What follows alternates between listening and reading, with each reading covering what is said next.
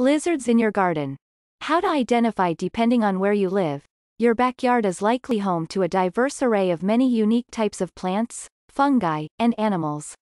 Some of the most common visitors you've likely noticed in your garden are various kinds of lizards, both big and small.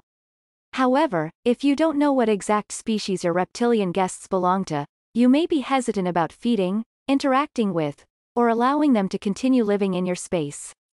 Alternatively, you may want to better understand the lizards so you know how to better accommodate them. After all, many species are beneficial to have around and eat various insect pests. Common garden skink These unassuming little brown lizards seem to be everywhere.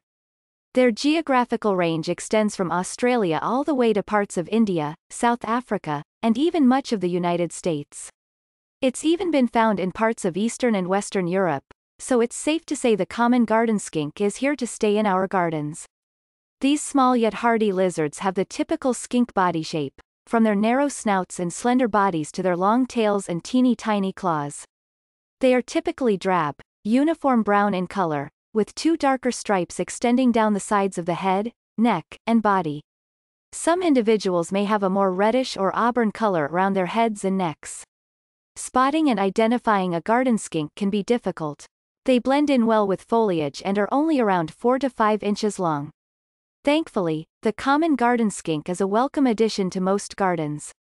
This is because although they are omnivores, they prefer feeding on various small insect and invertebrate pests. Still, if you want to offer them some fruit from time to time, they definitely won't turn it down. Oriental garden lizard The oriental garden lizard is another species that, thanks to humans, has an absolutely massive geographical range. Though they are native to much of the Middle East and Asia, they've also been introduced to other parts of the world like the US and Australia. Today, they're commonly spotted in both rural and urban areas alike thanks to their adaptable, hardy nature. They've even become popular in the pet trade. These handsome agamid lizards have narrow, pointed snouts and a row of prominent spines extending from the base of the neck down to the base of the tail. The spines are most visible near the neck and get much smaller towards the tail. Their tails are extremely long and thin and make up much of their total body length. If measured from snout to tail tip, they can reach lengths of 15 plus inches. From snout to vent, however, adult oriental garden lizards are usually only around 4 to 6 inches long. Oriental garden lizards vary in color from grayish-orange to yellowish-brown. Males typically develop a bright orange or red head and neck coloration during the lizard's breeding season. Tropical house gecko The tropical house gecko thrives in warm, humid conditions. Though they're originally native to sub-Saharan Africa, they've since spread to the Americas and parts of the Caribbean islands. Nowadays, they're commonly spotted in homes and gardens throughout these regions, chowing down on any little insects and invertebrates they can find. These little geckos range from around 4 to 6 inches in length and are mostly a mottled brown color.